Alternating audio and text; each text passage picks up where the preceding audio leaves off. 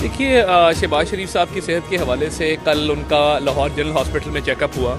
उनका CT scan किया गया जो कि क्योंकि वो कैंसर के मर्ज में मुबतला रहे हैं तो वो ज़रूरी होता है। आज से चंद रोज़ पहले जो उनका एमआरआई किया गया था, उसमें उनकी गर्दन और लोअर बैक के अंदर काफ़ी इश्यूज़ निकले और ये पिछले एक दो हफ्तों में उनकी कमर का मामला खासा ख़राब हुआ है। उसके बावजूद बख्तरबंद में लाने की समझ नहीं आती।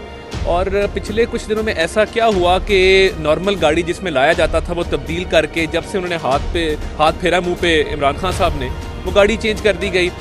तो ये सिला मिल रहा है इस मुल्क की खिदमत का। दहशत गर्दों को जिस गाड़ी में लाया जाता है, उस गाड़ी में शहबाज शरीफ साहब को ला रहे हैं। उधर से चंद किलोमीटर के फासले पे ऑरेंज ट्रेन चल रही है मेट्रो बस चल रही है। यानी पूरी दुनिया को अच्छी सफरी सहूलियात देने वाला आज बख्तरबंद में आने पर मजबूर है।